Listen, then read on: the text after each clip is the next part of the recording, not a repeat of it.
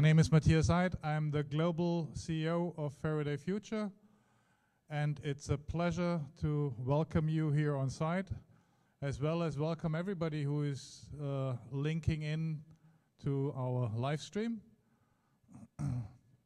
Some of you have been here. I've seen your faces around in, in other uh, events we, we had. And some of you are new to the Faraday Future family.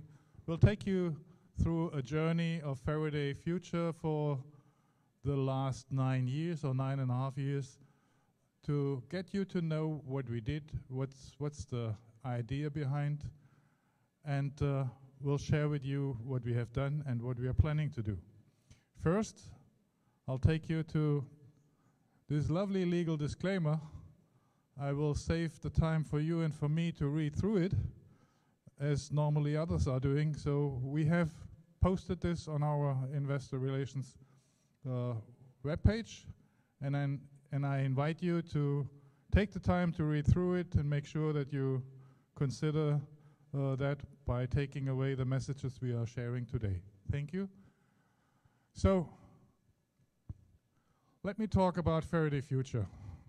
So our vision, which was created uh, from a basic idea in 2014, and de then developed and at the end formalized in 2016-17, uh, is to empower everyone to live and move and breathe more freely. What does that mean? Basically, we are following our mission to perpetually evolve the way we are moving and the ecosystem we are providing. And we move by co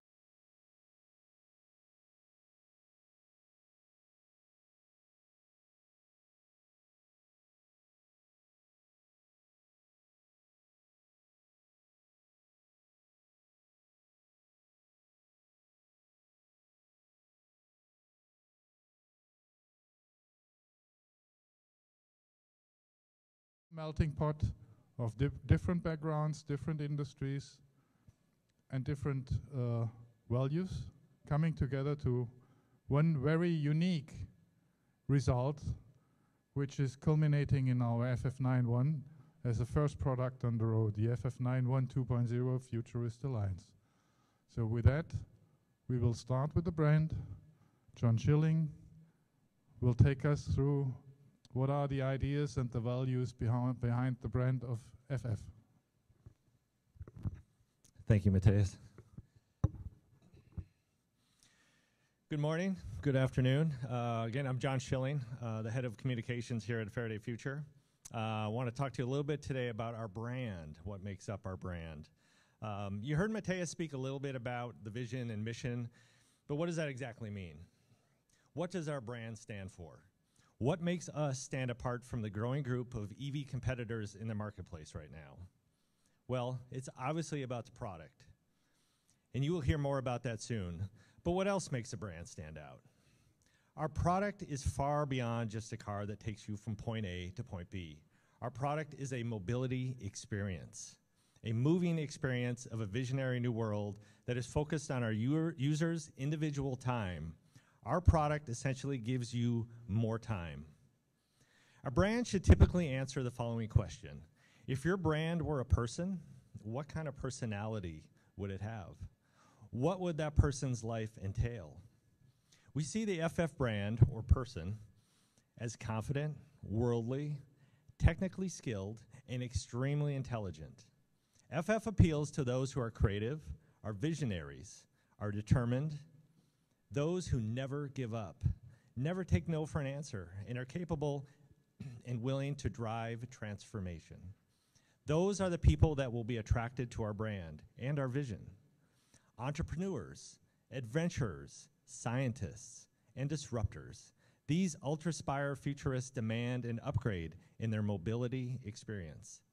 They don't just want a car in their lives, they want an experience. Our customers, or users as we call them, are pioneers, courageously driving human civilization forward. They are futurists, as we refer to them. Our product pays tribute to the futurists who are propelling the world towards a sustainable energy future. These entrepreneurial leaders, visionaries, and daring inventors frequently are cited as being the first to accomplish great things in their lives. Their work represents the vanguard in its field, singular creations that are defiant and challenging. You've never seen anything like them before. Difference is a driving creative force. Needless to say, the FF brand and its work is highly influential and different than our competition. The FF brand is active and engaged with multiple projects at the same time. Therefore, FF always seems to be in motion, moving quickly and acting decisively. It is willing to take risks for what it believes in and backs up beliefs with solutions that work. The FF brand is also an empathetic communicator, focused on creating experiences that foster deeper connections between people.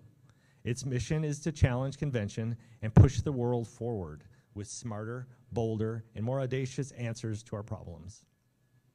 FF91 is a user centric experience designed for people with many talents, many obligations, and many goals in life. Faraday Future has addressed these complex needs in a single vehicle that combines the luxury of an intelligent connected space with the capabilities of a hyper dynamic EV powertrain and predictive AI architecture.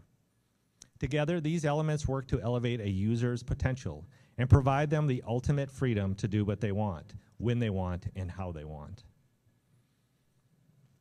Today, the aut automotive industry's core value is fundamentally shifting from mechanical and hardware to software and AI.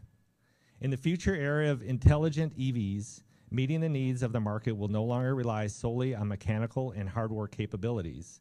Instead, software and AI will enable a single category to meet the diverse needs of every user.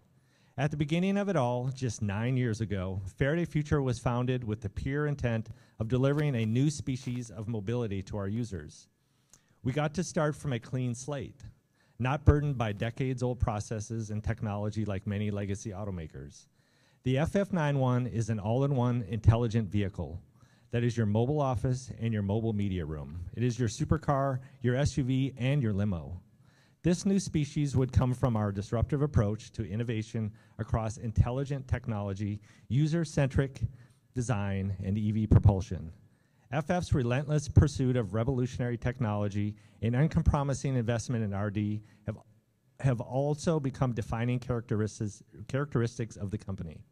The EV industry's transition to user centric design was already disruptive, and we took it even further sharing ideas with our users, hearing out, and implementing theirs. The ultra luxury car civilization represented by traditional brands like Ferrari, Maybach, and Rolls Royce may appear to be at the peak of their glory. However, we at FF believe the real disruption is just around the corner. Only intelligent EV companies like FF with superior technology, software, and AI DNA can lead this disruption. Now I want to turn this over to Arash, our Director of Design, to talk about the design of the vehicle, and then on to Phil, who will talk more about the technology and the product. Thank you.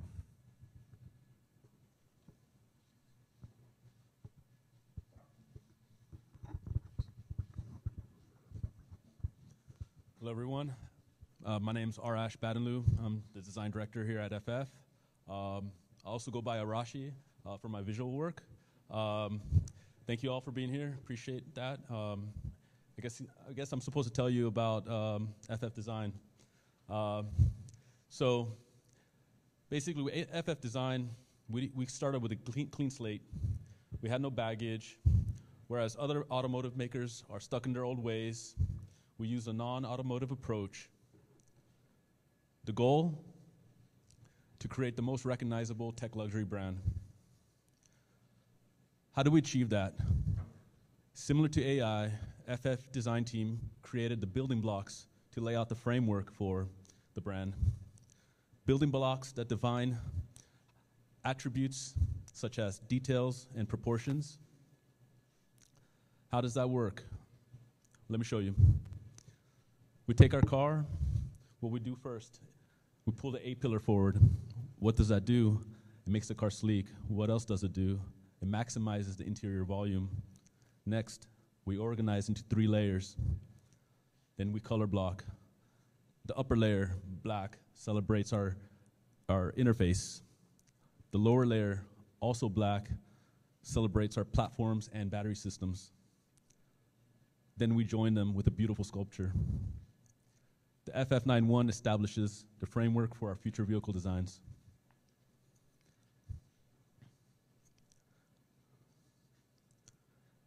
As you navigate around the vehicle on the exterior, uh, the UFO line, the UFO line is uh, one of my favorite uh, parts of the car. You'll notice this as you walk around the vehicle. It is also fo- followed by a lighting array that can communicate with the outside world. This is a testament to our to AI-like precision, adding a touch of alien-like elegance to our visual signature.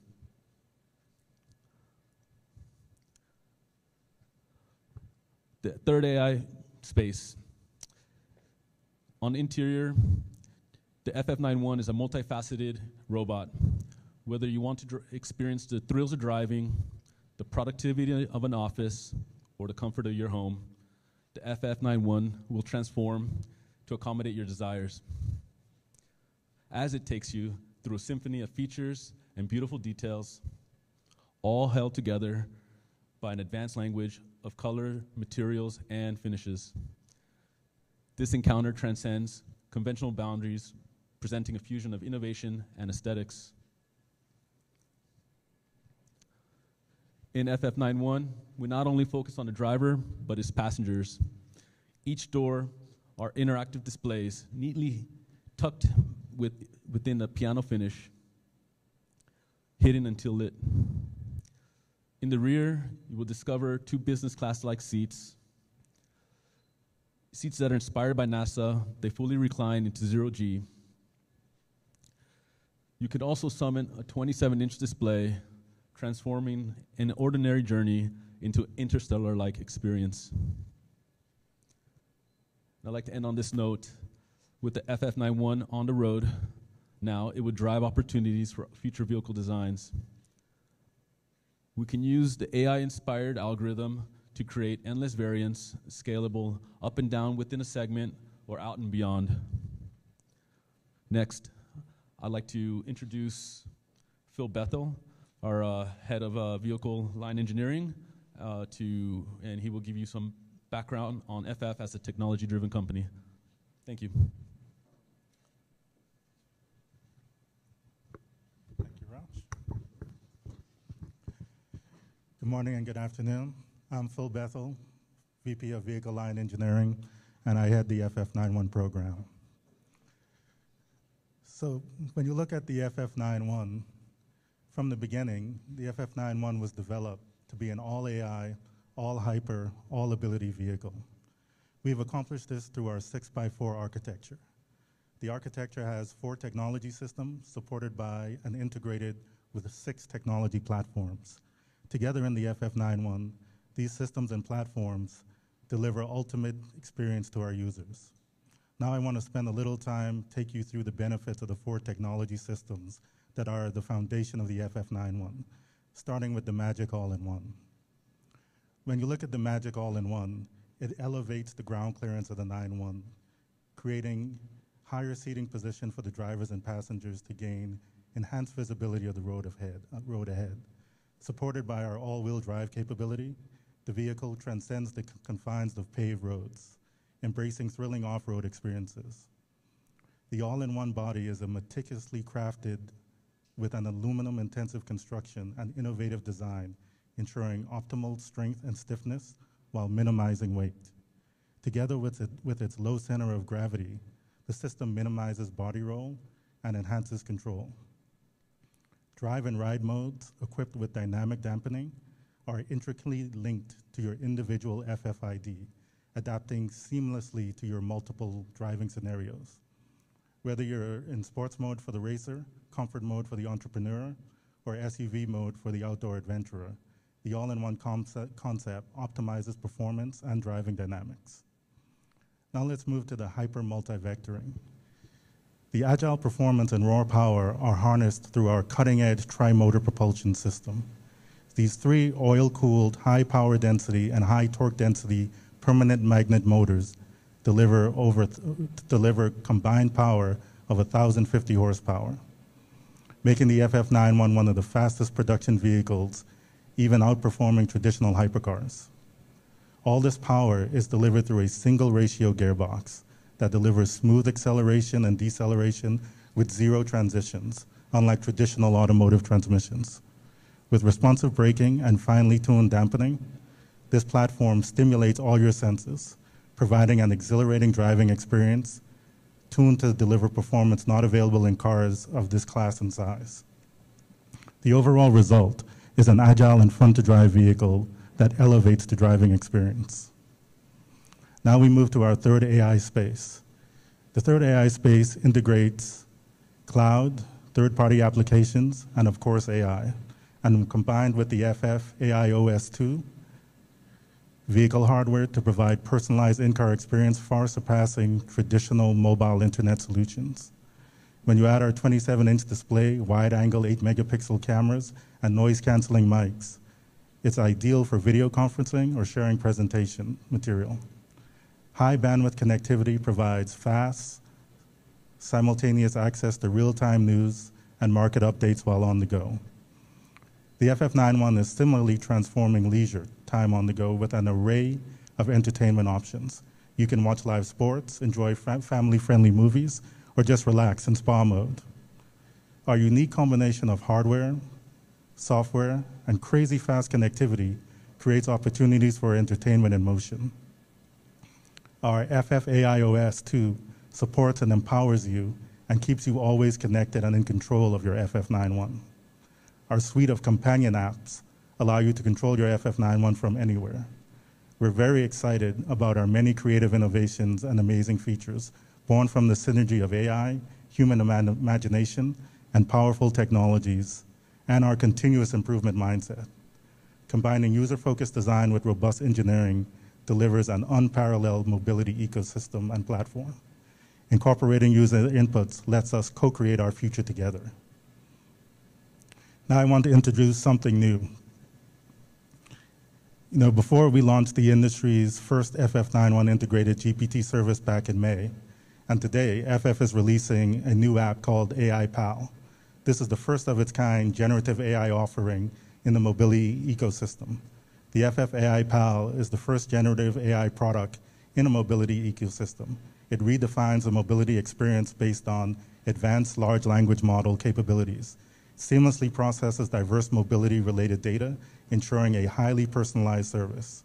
FF collaborates with third-party developers through an open model to integrate mobility ecosystems and AI services. And you'll be able to experience AI PAL today. Now we move to AI, AI driving. Our AI driving system builds on innovative technologies and ensures ultimate safety, freeing up the driver's time and attention, and provides a personalized experience to each of our users. The AI driving system provides functions of automatic emergency braking, adaptive cruise control, lane centering control, and in the future, other features such as smart parking, summoning, and navigation-based auto drive will be released after a rigorous process of additional simulation and road testing. FFAI driving is enabled by three pillars, a world-class sensor suite, powerful computing platform, and in-house software development enabled by AI technologies and a big data pipeline integrated into our vehicle. FF91 is also equipped with a LiDAR, high-resolution cameras, radars, and ultrasonic sensors. We're the first automotive OEM in America equipping production vehicles with a high-resolution, ultra-long-range LiDAR. The LiDAR in the FF91 can detect objects up to 500 meters away, even in low-light conditions. Our dual 8-megapixel dash cameras have both 60 and 120 degree field of views, greatly improving ADAS sensing capabilities. We also have side mirror cameras, B-pillar cameras, and surround view cameras to cover 360 degrees around the entire vehicle. The FF91 is also equipped with radar and 12 ultrasonic sensors. A combination and fusion of all these high-quality sensors allow us to reduce misdetections and false alarms, providing extra redundancy and further enhancing safety. The FF91 is equipped with one of the most powerful production-ready SoCs from NVIDIA, called NVIDIA Drive Orin. It can handle many deep learning networks and applications running simultaneously. In summary, the FF91 is equipped with world-class sensor suite and powerful computing platform, it achieves ultimate safety and delivers the best individualized experience for our users. Now, these four systems are supported by our six technology platforms. FF Open App for application development, FF AIOS for user interface systems, FF AI Hardware 2.0 for second generation computing platforms, FF Mechanical for structural, EV, and safety systems, FF Cloud for computing and storage, and of course, FF AI for language and other AI systems. As with everything at FF, the platforms are continuously being upgraded and improved. Now, future development plans include integrated third-party developed plugins via our open platform, and to utilize the vehicle as part of a generative AI database. FF is also actively working on enhanced performance packages and AI racing technology for improved track experiences. These systems will continuously improve via internal strategies and with our co-creation partners. Now I want to introduce the FF All Hyper Racing program. This program was started to stretch the limits of traditional vehicle performance by targeting track records around the globe. The team's goal here was to improve the performance of the 9-1 through racing development program, where we really stress the vehicle and put it to the ultimate test. The outcome will be a performance-oriented version of the FF91 that exceeds the boundaries typically ascribed to a vehicle of this size and mass. Currently, we've set the fastest lap records for SUV category at Buttonwillow and Willow Springs International Raceway. At Willow Springs, we beat the Lamborghini Urus time of one minute time of one minute and 28, one minute 28.313 seconds. And this was an improvement of seven seconds from our first track day back in June of this year. So it really shows the improvement in the product that we've been able to achieve in such a short time. There are more improvements to be made, and many of these will find their way onto the FF91 Performance Edition in the future. So with this technology backbone, let's look at the innovative and tech luxury FF91 20 Futurist Alliance.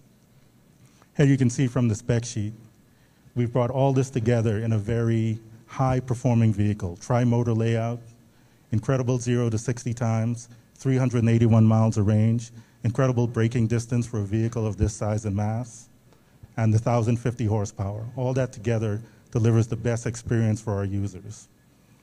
Then when you add our third internet living space and external sensors, we deliver the whole package in the FF91.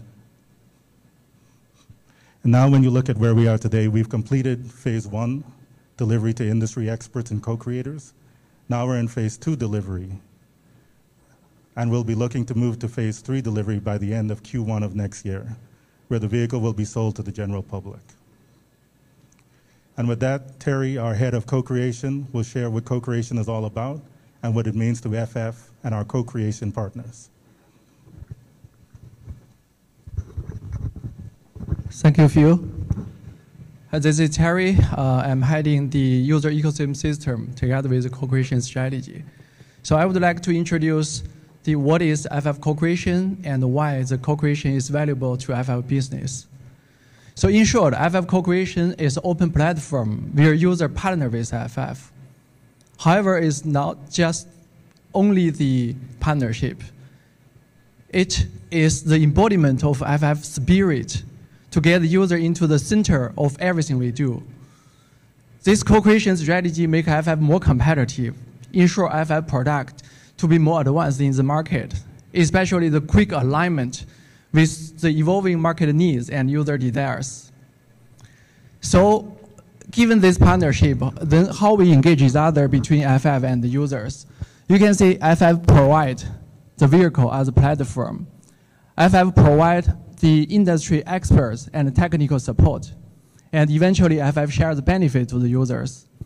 Meanwhile, the users will purchase or lease the car and then they spend the time to use our product and then share the feedback to us so as we can utilize this in the future, uh, the next generation product enhancement. Meanwhile, they will share their social impact and social connection to FF for FF brand awareness. It's simple. So as a result, and also the goal of co-creation, so FF can get our brand awareness very quick And also we can build up the strong long-term user loyalty and user trust. And meanwhile, we can get our product earlier engaged with the luxury users and the target users. Eventually, we share the benefits each other. So that is the co-creation. Next page, please.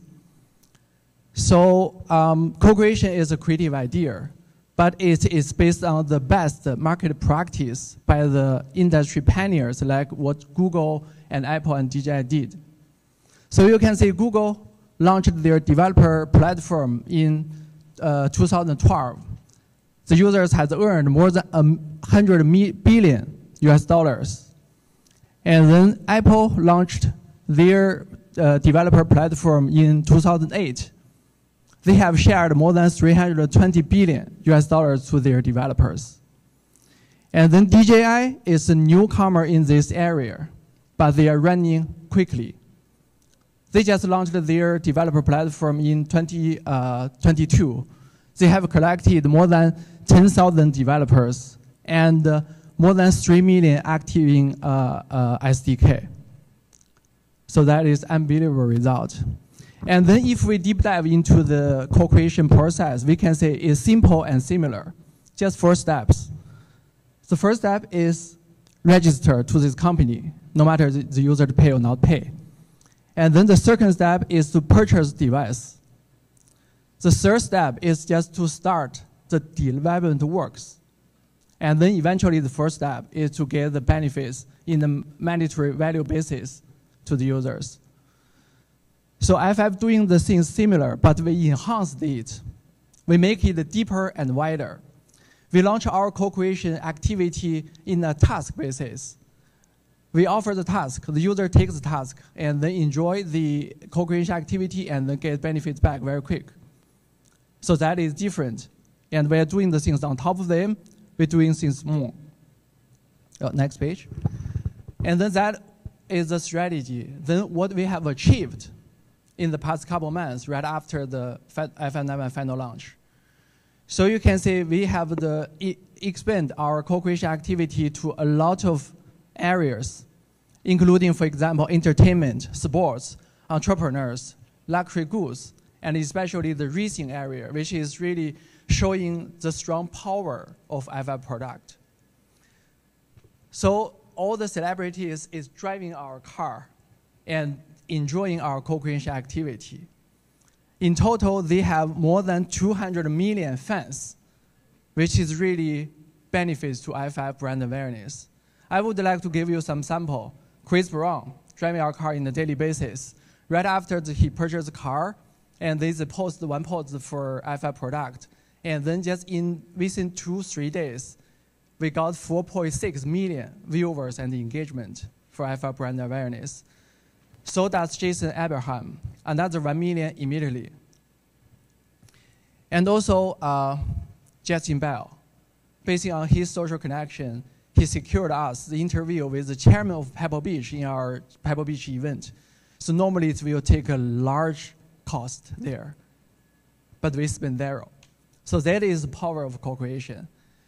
And there's still a lot of uh, uh, uh, co-creation activity ongoing. I will not repeat them, but they're using our product. They are giving the feedback to us for our next generation product enhancement, and a lot of other resources into our delivery event. So we believe we can get more value through the co-creation activity, like what is ongoing. So that is co-creation. Thank you. Then I will hand over to Matthias. Thank you, Terry. So now you get a, a good glimpse of uh, what we achieved, what we are doing actually. Let's go back in time. And starting in 2014, 2014, the company was founded by YT Jia, who is uh, with the company today and serving as our Chief Product and User Ecosystem uh, Officer. In 2015, we were operating in stealth mode and launched our first uh, mule vehicle, which was uh, embodying our VPA, our variable pla- platform architecture, and also our propulsion system to get the first learning, which culminated in 2016 at CES into showing to the world what could be a potential product based on the VPA with uh, launching the FF01 groundbreaking vehicle, which is on display here. If you turn to the right, you can see it. A very attractive vehicle. In 2017, we had a busy year. In the beginning of 2017, we introduced the FF91 with all the features which are now going into or which have been going into production. So we realized what we promised in 2017 already. Uh, every, no, not every, many other OEMs were just listening to what we announced there and then incorporating in, into their product planning and realized it as well. So uh, not all of what we have announced in 2017, which was outstanding, is still outstanding. So we are working on getting to the forefront, forefront again. What did we do in 2017 as well? We run Pikes Peak with the technology we have developed, and uh, basically we broke the record of going up the hill for electric vehicles close to production by 23 seconds, faster than a uh, Model S at that time. And what was most uh, astonishing, basically, the Model S needed to be cooled down after going up the hill. Uh, the battery needed to go on ice packs, and our vehicle was going down the hill uh, without having the need to cool down or was just driven down again by our driver. what we did as well, we signed a lease for uh, Hanford, where we started to establish our manufacturing. And then in the end of 2017, we closed our Series A financing, which allowed us to run fast in 2018. We were running in, in six to eight months to get everything lined up to have a first pre-production car uh, getting off the line in Hanford. In 2019, we were running out of money a little bit, but we carried on uh, getting gamma vehicles built, which allowed us then in the following period, so that was basically the first half of 2019, we produced these cars. And we were limited in what we uh, were able to do on the hardware side, which was a big advantage for our software team. So for the following one and a half years, we were fully dedicated and concentrated on developing and maturing our software architecture. And it's not compared as with other OEMs, something where we just stitch together what comes from system suppliers. It's in-house developed with a huge uh, vertical integration. And so it, it took quite some time to get that somehow to work together and, and deliver what we were envisioning in 2017 already. In 2020, the whole industry and ourselves were hit by uh, COVID. And thanks to a PPP loan, we were able to keep the company afloat. Uh, in the end of 2020, we decided to go for the next round of financing in the company by partnering up with a, with a SPAC party, which we identified, and then the negotiations were leading to a close of uh, an agreement in the beginning of 2021. Our chosen partner, PSEC, signed the contract with us in January or early February, and then we took uh, the merger to an IPO in, in July 2021, raising close to 1 billion, uh, which gave us net proceeds of something like 650 million, uh, cutting away our past dues. Then with that, we started to speed up, getting our supply base coming back and putting the car on wheels. So this was taking the time until uh, 2023. In the year 2022, we unveiled the first uh, production intent vehicle leading to the final product as you can see it on, the, on your left hand side sitting there. So coming to 2023, let's change the scale, not talking about years, talking about months. In the beginning of 2023, in January, we signed an agreement with the city of Huanggang in China to move our China headquarters there and embrace our dual home market DNA and strategy. In March, we announced the start of production. So some of the people here in the room have been in Hanford pushing the car into the final assembly line, and we started to build the first vehicle, which was finished then with the help of many, many people uh, in the mid of April. In May, we were able to hold our final launch event and showcase the FF91 2.0 Futurist Alliance to the world. And I'm pretty sure that you, some of you have seen uh, the videos we shared with the world at the time. Then, shortly after, in June, we had our SOD1 uh, milestone, sharing the vehicles with with the with the first round of uh, co-creation users, and we are uh, we were inviting people to a track day in Willow Springs.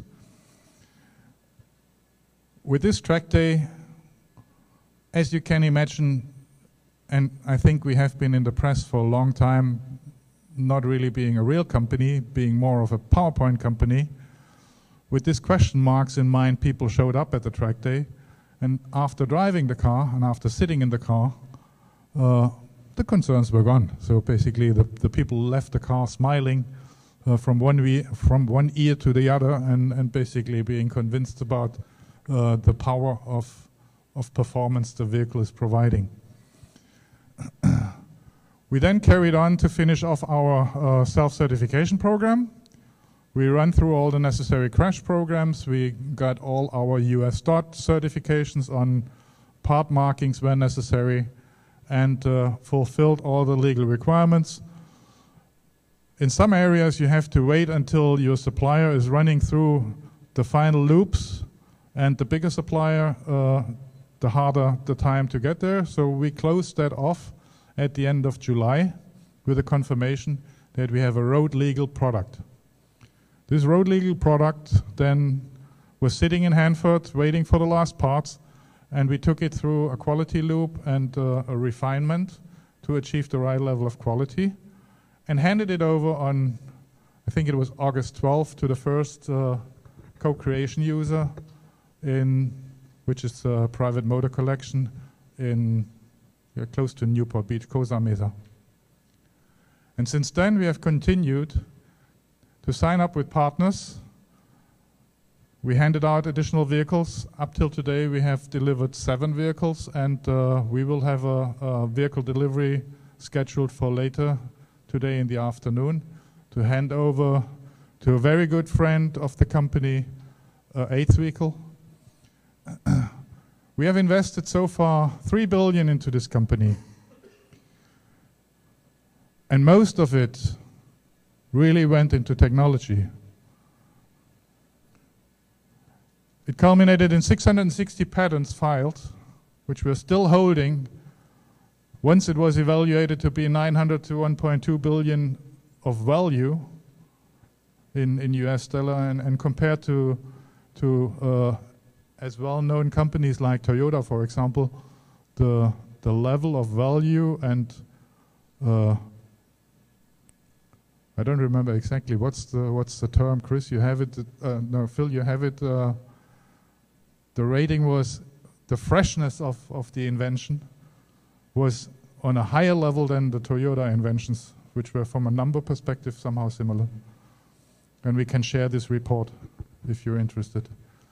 So we are improving the product on a weekly basis, especially what Terry shared with our co-creators. So we have a co-creator community from the different fields of use. You, you have seen we have uh, existing and former race drivers helping helping us. We had uh, one uh, record holder of West Willow Springs. Uh, we we met him by accident in Willow Springs and we invited him to drive the car, and he was not really uh, very keen to sit into a car of that size. Drove the car, and then he signed up to to work with us as a contractor to improve the product. So what we were able to deliver, what we were able to put together is really impressive, and you will have the chance to, to see and experience that later uh, after we finished this meeting. So what is next? Next is, and I've been with the company for more than seven years. I've been running the program one time, was kicked in my shins and dripping over because we were running out of money. The same happened to my colleague and friend Phil. So we are fed up with that. The main focus is getting this company independent of outside money, driving it to a financial sustainability and stability. That's our main focus for uh, the near term and midterm, to drive the company to a profitability and a, a cash flow break even, that we do not have to worry about the lifeline of the company any longer when we are looking into new products. The second focus is to continuously improve technology. And as Phil mentioned, and also John mentioned, the differentiation is not so much on the hardware side. The hardware we have put together, we will carry on optimizing, reducing cost, and making it more capable. But the big thing is looking to, to marry software intelligence and then carry on with our portfolio as we have laid out it. The next one is maximizing the market penetration in the ultimate tech luxury markets. So what takes us out of the competition is the product we have realized. So we followed the direction and the vision of YT to start at the top instead of starting at the bottom and then crawling up. And we have a unique product which stands out even when companies, accepted players in, in the ultra luxury market like Rolls Royce, Bentley, are coming with electrified product. They will lack the level in of integration we were able to put together between software, hardware, and intelligence. As we can see with all the traditional OEMs, they're struggling to get to the level what Tesla has realized in, in a uh, combination of software and hardware in, in, in performance. So we focus very much to stay in this market for the beginning, to set up our brand, to get to the level of recognition on one hand. On the other hand, if you consider the volumes we're able to, to build and sell in that market, there are, if you compare us with a Lucid or a Rivian or a Tesla, we're talking about homeopathic volumes, very low volumes, which enables us to manage our costs to get these vehicles produced. So our path to get to a cash flow break even is far shorter than of the other companies because the burden we have built up with the organization is, is smaller. So we, we have, we have uh, capitalized for a volume of 10,000 units a year, and our overhead structure in, in Hanford is supporting this 10,000 units. It doesn't support 150,000 units, and we have to fill it because we're only selling 10,000. So our path to get there that we are able to produce less cars than the market demands is far shorter than with our competition.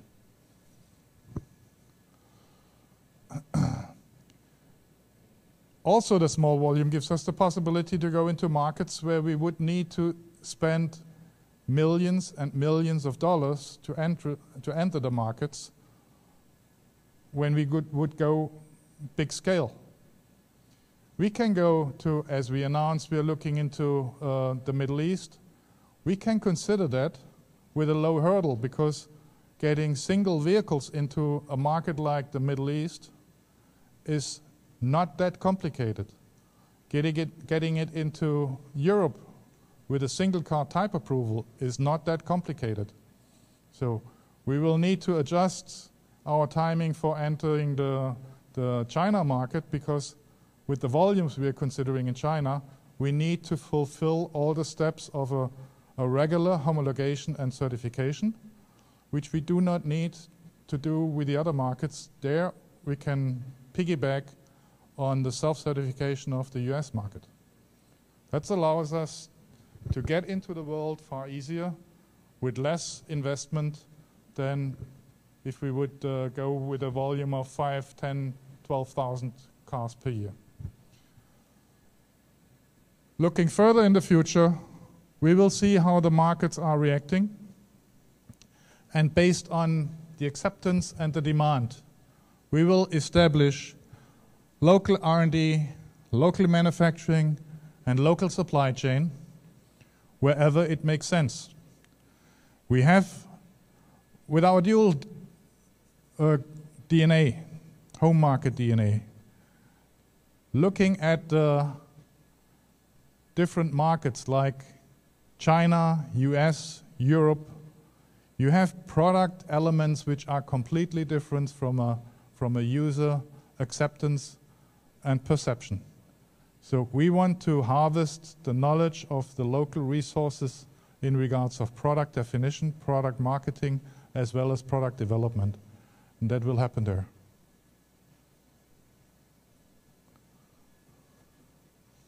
With that, I think we can showcase our IAI functionality very soon.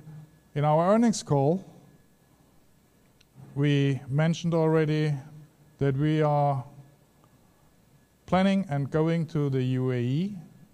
We will hold a press conference on the 23rd of this month in Abu Dhabi in the framework of the Formula One Grand Prix happening there. And we are planning to showcase our vehicle in, in the UAE market. So, and stay tuned to learn what we are announcing with this press conference. And I think with that, we can look into Hanford. Because we are not going to Hanford, I captured a video and uh, I'm taking you now virtually through the manufacturing plant. And I'm getting some signs from the background. I don't know exactly what it means. Ah, and before that comes, Jonathan has to share some financials with us.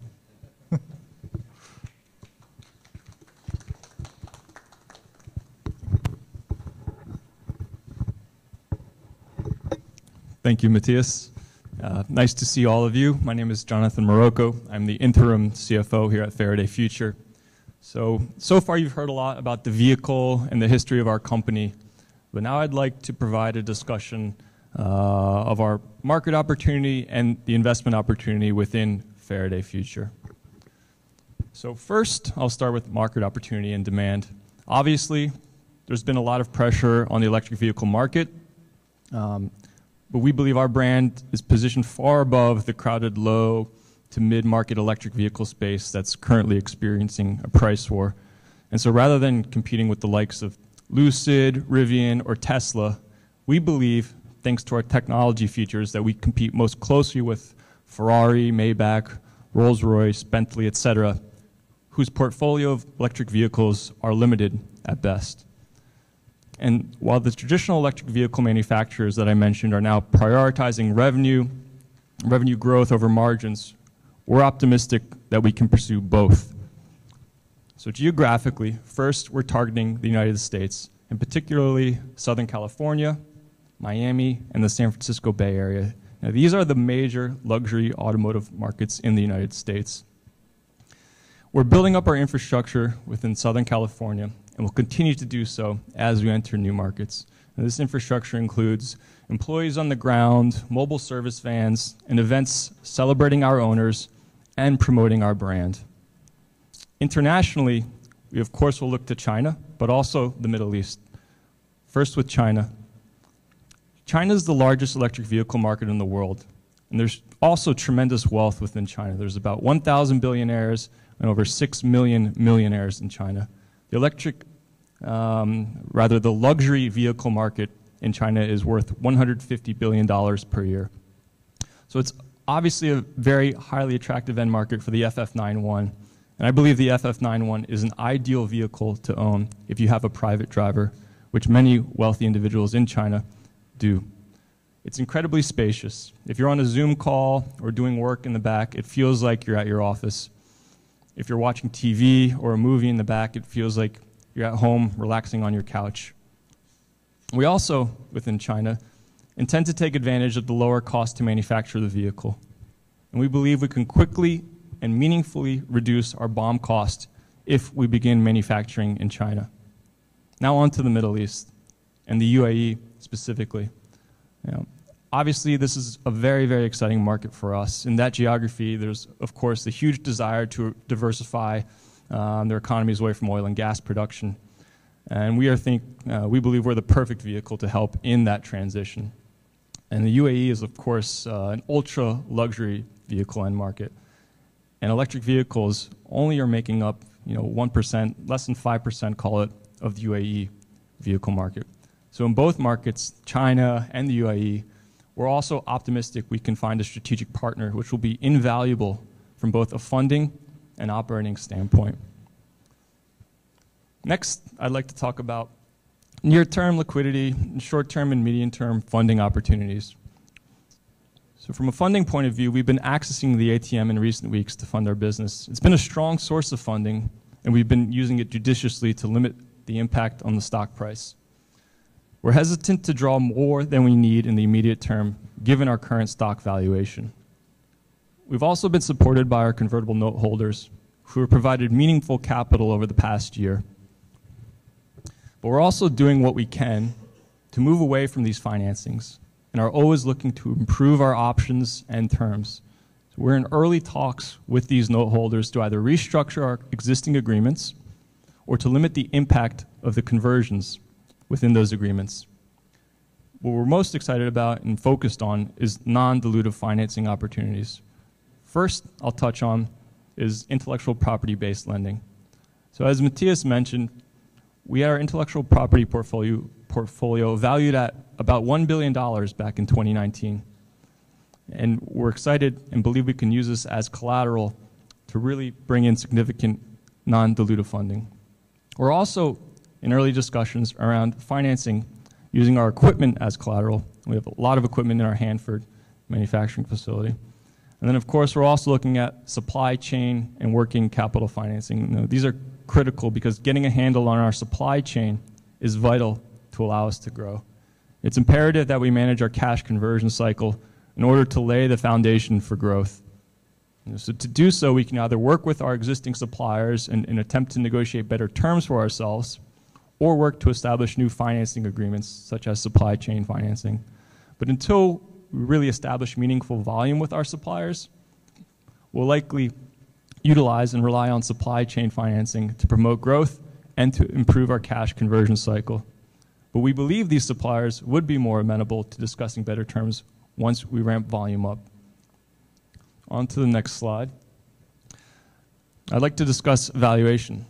Our current market capitalization it's less than $50 million, closer to 40 million, I believe. We have about $100 million of net debt, so an enterprise value of $140, 145 million dollars. Obviously, we think this market capitalization does not reflect our true valuation. And I'll get into why I believe that to be the case now. So let's discuss ways to think about how to value a business such as ours. First, we can look at the cost to recreate the business.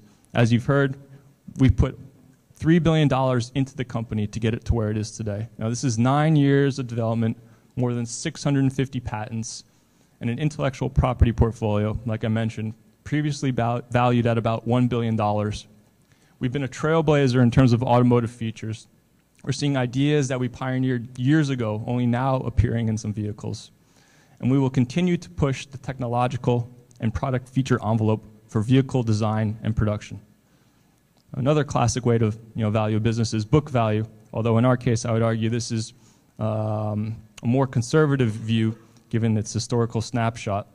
But let's take a look at it. In looking at our balance sheet, we have 560, rather 580 million dollars of assets, liabilities of 320 million, so a book value of about 260 million dollars. And again, compare that to our market capitalization; it's far and above.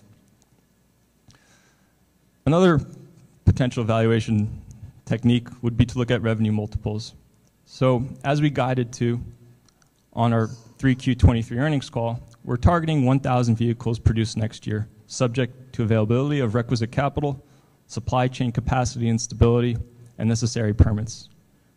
But if we assume we sell those 1,000 vehicles in 2024, assume an average MSRP of, call it $270,000 per vehicle, and say 75% of those are outright sales rather than leases, you know, we're talking already more than $200 million of revenue. And you can take a look at you know, forward revenue multiples of some of the other EV manufacturers, 5x, 10x, and other luxury vehicle manufacturers to get a sense of potential valuation. Now, as mentioned, management believes we are undervalued, and subject to stockholder approval, many of us have committed to purchase shares of FFIE because we believe in the long-term value of the company. Next, I'll talk about cost cuts and control improvements. First, on the fixed cost side. In the third quarter, we embarked on an aggressive cost-cutting campaign focusing on our G&A expenses. This is part of a continued cost-cutting exercise, and we believe the efforts of this campaign will be seen in our fourth quarter results. Now to the BOM. We're also working very hard to reduce our BOM cost. Some of this will come naturally with volume and improvements in manufacturing efficiency. But we are also targeting specific components of the BOM, switching suppliers and insourcing the production where avail available and where cost effective. And this is yielding meaningful, fruitful results. And I'll give you one concrete example. There was one particular component of the BOM that was costing us $60,000. We brought the production in-house, and now it's costing us $10,000. So this $50,000 savings on a single component within BOM is, is unheard of, and it shows how much low-hanging fruit still exists in terms of reducing the BOM in the near term for us. Next, I'll focus on systems and capability buildup. So I'm also very focused on improving our internal systems. We went public via D-SPAC, so naturally some of our systems are not as mature as they would be had we gone public via traditional IPO or direct listing. But we are improving these systems and look forward to the implementation of new systems. Now, these will no doubt help in our analysis and decision making and will also help in reducing labor costs within G&A. We have better processes, we're utilizing SAP, and we're working with industry veterans from some of the largest automotive OEMs in the world to help structure and implement a full ERP system. These improved controls are also helping us remediate our material weaknesses which we continue to target ahead of our next annual report on Form 10K. I'm very, very excited about the prospects of our company. From an operational perspective, Faraday is the most mature it's been in its history. You know, we're delivering vehicles, we're generating revenue, and we're slowly but surely increasing our total production volume. We have a new senior management team that is passionate and capable and committed to making Faraday Future a success. And from an investment point of view, and risk reward perspective, I think there is strong value proposition in investing at our current valuation.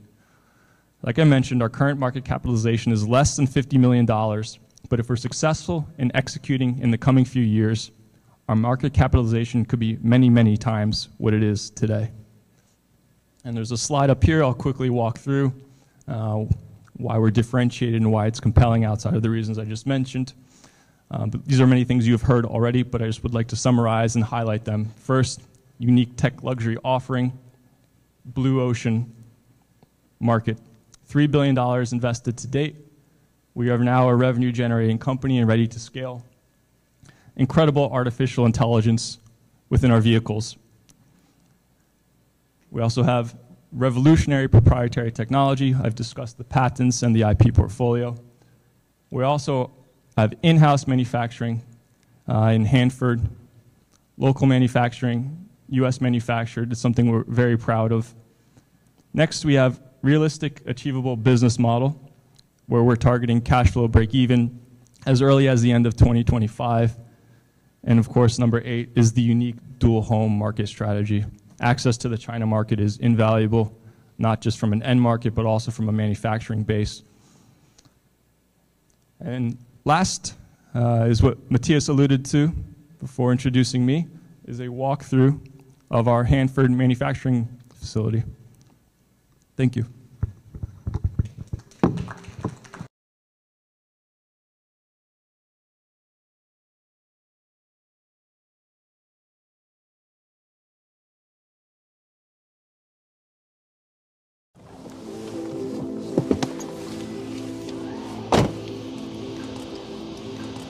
Welcome to Hanford. I will be your tour guide today. I'm Matthias Aydt, the global CEO of, of, Faraday Future, and we are in our FFIE factory in California, in the middle, right between San Francisco and Los Angeles. We have chosen this place on purpose to serve the two most important markets here on the West Coast, and I will take you through all the different locations we have in our manufacturing and the actual status of being prepared so let me give you some details and some uh, figures to this factory we are going into. It's a 1 million square foot factory. We have installed a fully automated body shop, a fully automated closures line. We have a fully automated paint shop with e-coating tanks and with the fi final paint, top coating, so all to the latest and greatest standards of technology, delivering us the right level of uh, pre-product going into final assembly. Final assembly is set up not automated because we are producing a high quality product, so we need the craftsmanship of our workers to go into making sure that we achieve the highest quality ever for our users. and we are using this facility in future also to be able to expand to a bigger capacity once we are able to get additional funding and investment uh, secured to allow this further improvements. Let me take you in. Thank you.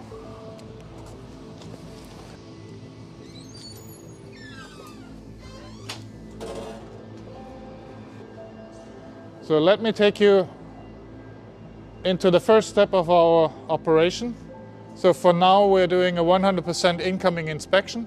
I'll introduce Juan, who is our in incoming inspection lead. Juan, good morning. Good morning.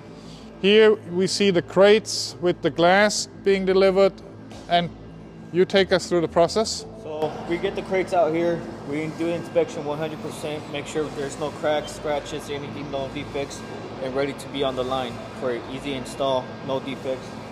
So this is the most important element of getting the production up and running. So once we are uh, hitting our peak volume of two jobs per hour, we will not have the need to do a 100% inspection. We can follow an industry standard. But for now, until we are there, we are focusing on really inspecting each and every part to make sure we deliver the right level of quality to our users. Let me take you to our video wall to give you a little bit of an overview. I spoke about where we are located.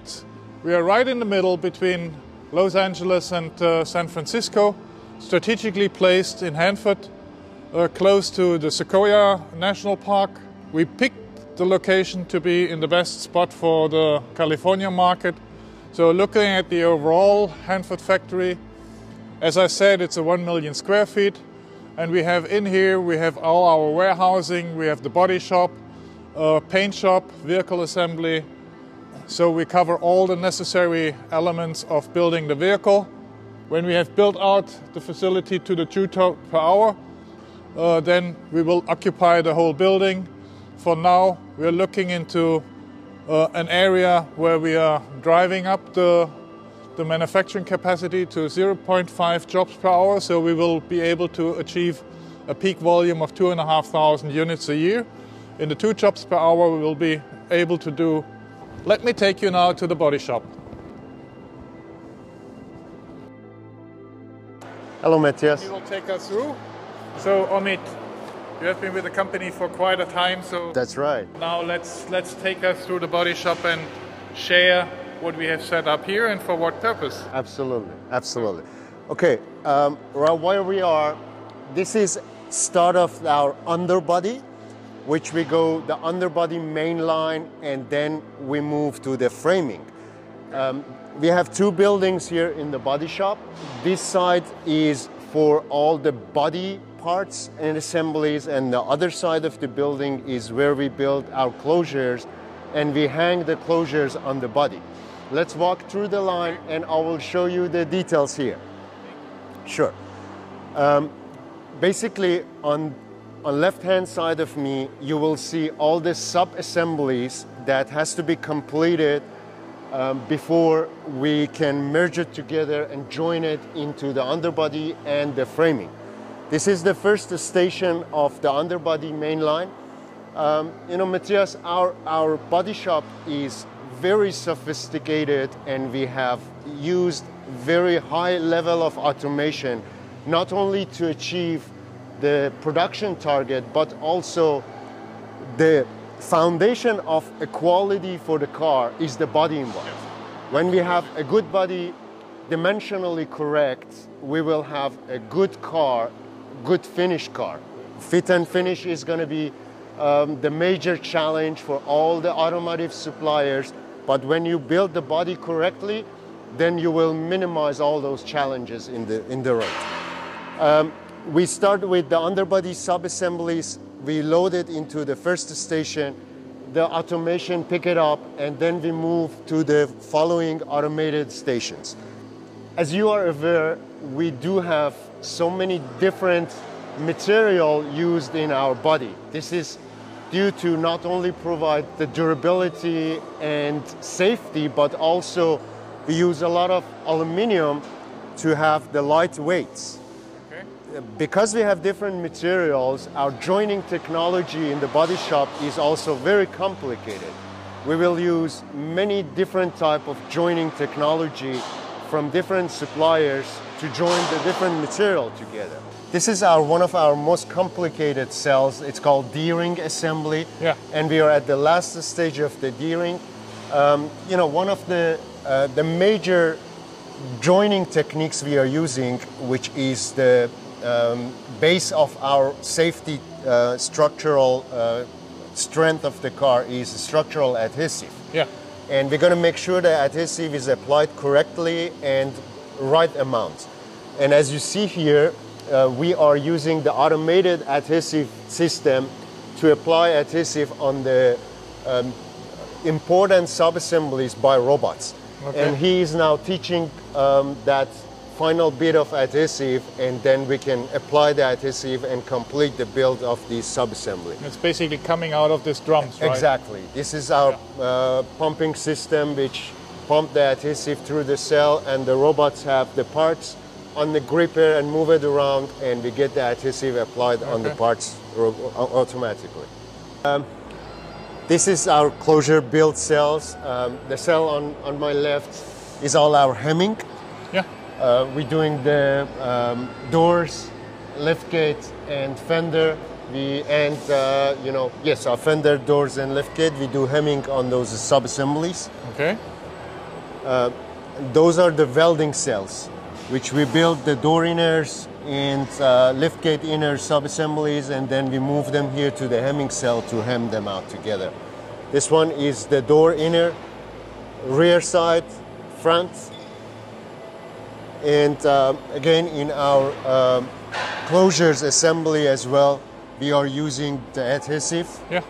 to make sure that uh, you know it passes the safety requirements. Um, one of the door inner left hand side that we, as you see, they are applying adhesive on the reinforcement, and Yeah. then they weld it to the inner panel, and the completed inner assemblies will move to the hemming cell and will get joined to the outer outer panels. Okay. And you know, when we have in these cells all the closures completed, we'll move it to the hang-on line, and then the body comes from the other side, and we hang all those completed closures to the body with the desired gap and flushness that's um, defined for the cars. Okay. All right, that's uh, that's going to be the the end of the body shop tour. Thank you so much for Thank your you, time. Amit. Yeah. Thank you. So in the next station will be then uh, our e-coating, and I'll take you there in a minute. So now let me take you through the e-coat process. The bodies coming from the hang-on line are transferred to a crane and then the crane is taking it through the different bars. In total, we have seven tanks. Six of the seven tanks are part of the process. The seventh one is just for maintenance, not being in a position that we have to break the process. So the different steps is we're rinsing the body, we're cleaning the body, and preparing it for the final E-coat, which is happening in this bath. Here, as you can see, it gets the lovely color.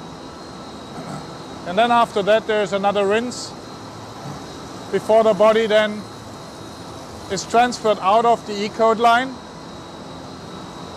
and is getting prepared to run through the oven to cure the adhesives and make sure that the body is baked. We have materials which are reaching their rigidity only after they are baked. So aluminum is hardening through that process and also the adhesive is hardening through that process. And with that we prepare the bodies for the coating, the final coating, the deck coating. And with that we have then the right body going into the final assembly. The next step will be after we have uh, passed the ovens, which are in front of me. If you can follow my view, then you can see here the ovens. The body is going into the oven, the door is shut, and then it goes through the process and we'll go into the final paint. So now we're entering the area where the miracles are happening. We got an E-coated body, which is not really very beautiful, and we have here our top artists turning an E-coated body into something beautiful. Leonard. Yeah, thank you, Matthias. Welcome to the paint shop. Thank you. Um, so the first step is we're looking at our E-coat sanding booth. So we'll walk over here. So and I see the body is already sealed, so we're making sure that all the water and uh, wind noise tightness is, is achieved. Yeah, to ensure that the, the bodies are watertight. Okay, take me to the next steps. Okay, yeah, Uh, let's let walk over to our robotic painting cell. Okay.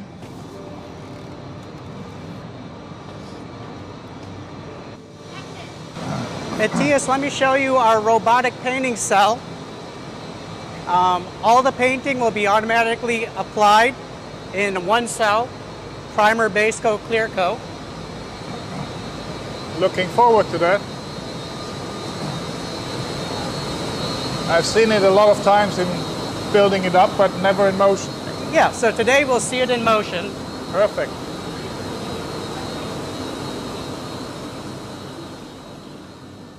Um, so all layers of paint will be applied in this cell, robotically applied. It looks nice how the robots are covered in, in foil, just making sure there's no dirt going into it. Yeah, yeah. Yeah. So if you're ready, we'll go down and we'll actually Yes, see I it paint. we're ready. Okay.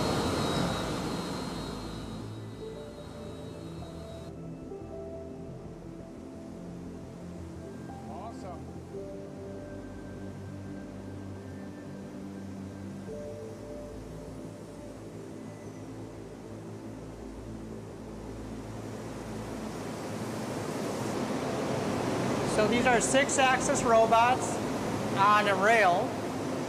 The entire exterior time is about three minutes. Now let me take you to the vehicle assembly line. And I want to introduce Jeff Robinson, our head of vehicle assembly, joining us back to help us with setting up the final assembly. And he will take us now through the process he have installed. The last time I have been here, this was uh, an area where we have stored all the parts. In the meantime, the manufacturing team has reconfigured the whole assembly line. It looks completely different.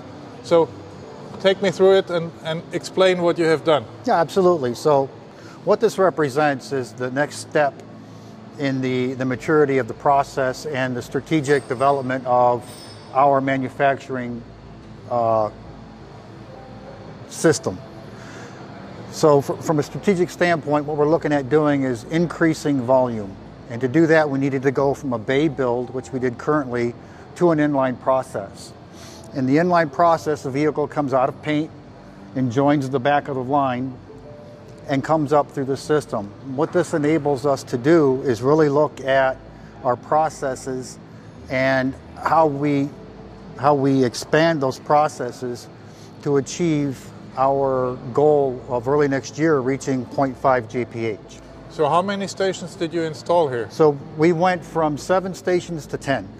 Okay, that Right. looks like an increase in, in outcome. Right. So all of this is in, in support of increased capacity.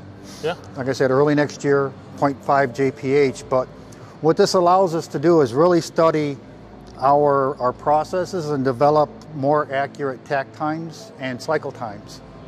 Along with that, what this gives us the ability to do is engage the materials team so they can really start looking at their line side feeds Yes. and what that strategy needs to look like to support uh, half a job an hour over here early next year. So uh, as we're increasing capacity, we're also increasing our knowledge on how to build the vehicle at a higher rate. Yeah. Right. So what this gives us the opportunity to do is at some point in time in the future when we do go to two jobs an hour, the transition won't be nearly as difficult because we've already got so much data Yeah. and knowledge gathered through what we've done here that the transition from 0.5 to 2 JPH and that ramp curve will be substantially less painful than it could be for us as an organization and for the company as a whole. Okay, Jeff, let's have a walk and look at the cars. Yeah. So one of the last processes that we do after the car's got the subframes in and we put it on wheels, we put the seats in, we start to button up the interior, Yeah. we do the glass set and we put the door panels on. Okay, From here, it'll go to uh, water test okay, for validation.